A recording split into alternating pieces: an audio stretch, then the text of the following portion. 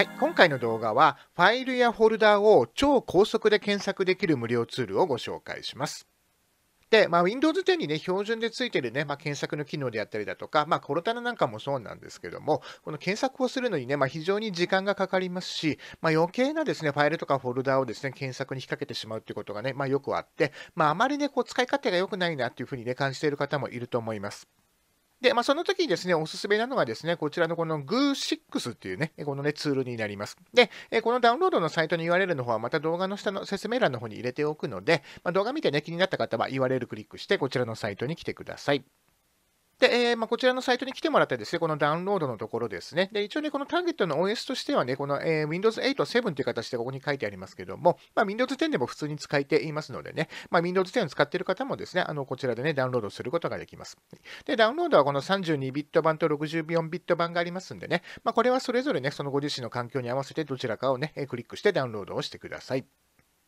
はい。で、ダウンロードが完了するとね、まあ、こういった形で ZIP ファイルでね、ダウンロードされますんで、まずはね、こちらを回答してください。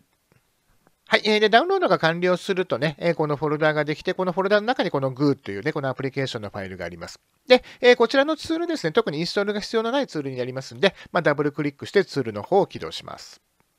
はい。で、ツールの方を起動するとね、こういった画面になります。で、えこちらのツールですね、検索をする前に、その検索をしたいフォルダを登録する必要があるんですけども、まあ、登録の仕方もね、非常に簡単で、じゃあ、例えばじゃあこのフォルダをね、検索したいよということであれば、このフォルダをね、このツールの中にドラッグドロップでこんな感じで持ってきます。そうするとね、この検索フォルダの追加という形で出てきますんで、更新をクリックしてください。はい、えー、そうするとね、このフォルダの方がね、えー、この登録された状態になりますんで、この上の検索窓のところに、まあ、今回まあ何でもいいんですけども、じゃあまあ052とかって入れてみましょうかね。まあ、この検索したいですね、フォルダの名前であったりだとか、あとね、そのフォルダの拡張子なんかをですね、入力をしてもらって、このね、虫眼鏡のこの検索ボタンのところですね、こちらをクリックします。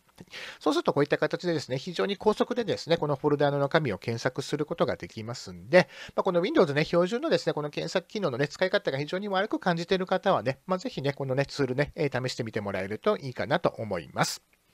それではね、今回の動画は以上になります。今回も動画を最後まで見ていただきまして、ありがとうございました。